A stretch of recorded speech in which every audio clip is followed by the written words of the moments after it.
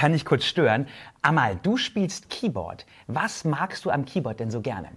Ja, ähm, ich kann äh, das Keyboard so einstellen, dass es den Sound nachahmt, den ich gerade haben will und dann die Lieder dann mit dem perfekten Sound nachspielen.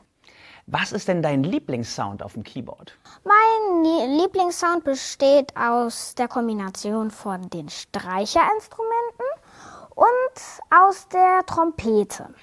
Kannst du mir mal was zeigen? Klar.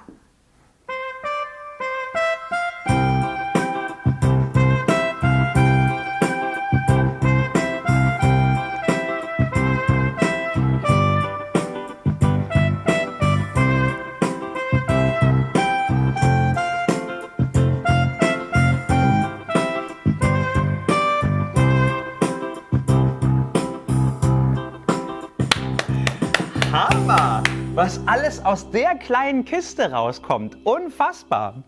Joachim, du bist hier der Keyboard-Lehrer an der Musikschule. Du kennst dich mit diesem Wundergerät perfekt aus. Sag mal, da sind ja tausend Knöpfe dran. Welcher Knopf macht da eigentlich was? Ja, gute Frage. Am Anfang verliert man natürlich leicht den Überblick. Aber ganz wichtig ist, hier haben wir die Section für die Sounds, zum Beispiel Saxophon, E-Piano, er hatte schon die Trompete. Gitarre. Also es gibt, es gibt unendlich viele Instrumente eigentlich hier drauf. Und hier drüben haben wir die, äh, die Rhythmen. 100, mindestens 100 verschiedene Rhythmen. Wenn man die startet, dann läuft hier ein Schlagzeug, ne? Klarer Fall. Und hier gibt es noch mehr Schlagzeuge, unterschiedlichster Art. Egal, ob man sie jetzt mag oder nicht. Das Instrument bietet einem alles Mögliche an. Und dann kann man eine komplette Band spielen lassen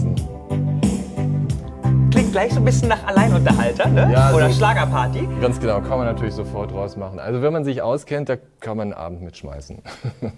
Mega, aber ähm, das ist nicht nur Rhythmus, da ist doch auch irgendwie so eine Bassmusik drunter, oder? Das ist Also da werden wie so Begleitung ist doch da Das richtig ist dabei. quasi eine komplette Band, die da spielt, ganz genau. Und mit verschiedenen Stilistiken, Rhythmen, Tempi kann man alles einstellen. Das ist schon ziemlich erstaunlich, was die Dinge eigentlich alles können. Wenn ich jetzt bei dir anfange, äh, was macht man denn als erstes? Als erstes lernt man schon auch das, was man im Klavierunterricht lernt. Zum Beispiel mit Amal habe ich vorhin die Tonleiter gemacht und äh, natürlich die Finger müssen sich erstmal bewegen lernen. Und dann lernt man aber ganz schnell links auch diese Akkorde zu spielen. Und dann spielt man rechts eine einfache Melodie.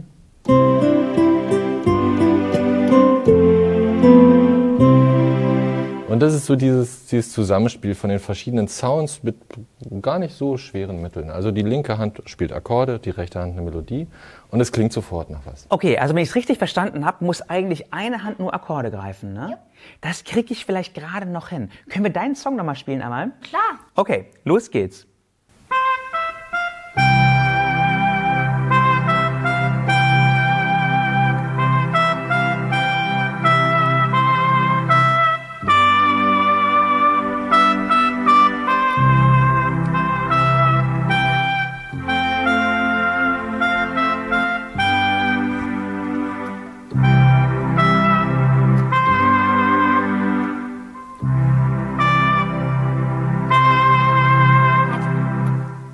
Irgendwo sind die durcheinander. Ich habe versagt, aber es tut mir leid.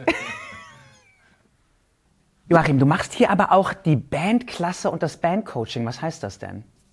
Das heißt, dass äh, Schüler von der Musikschule, die die typischen Bandinstrumente spielen, Klavier, Bass, Schlagzeug, Gitarre, Gesang, Keyboards, dass sie sich zusammenfinden und wirklich eine Band bilden und Bandstücke nachspielen. Und darin coache ich sie. Ich stelle das Bandmaterial, ich bringe ihnen die Songstrukturen bei und dann vor allem das Zusammenspiel. Wie darf ich mir das vorstellen? Wie läuft das ab? Ja, zum Beispiel, nehmen wir mal als Beispiel, kannst du von diesem Groove, diesen Abschlussspiel, den wir vorhin hatten, nur das Ende. Okay, da soll jetzt das Schlagzeug dazukommen. Timo, kannst du mitspielen? Ich zähle euch ein. One, two, three, four. So, ne? Und so bringe ich die dann zusammen. Das hat jetzt schon super geklappt. Ne? Das war jetzt schon total tight und auf den Punkt. Ja, quasi. Okay, also ihr spielt praktisch Songs nach, aber wie klingt das, wenn ihr jetzt selber mal einen Song erfindet?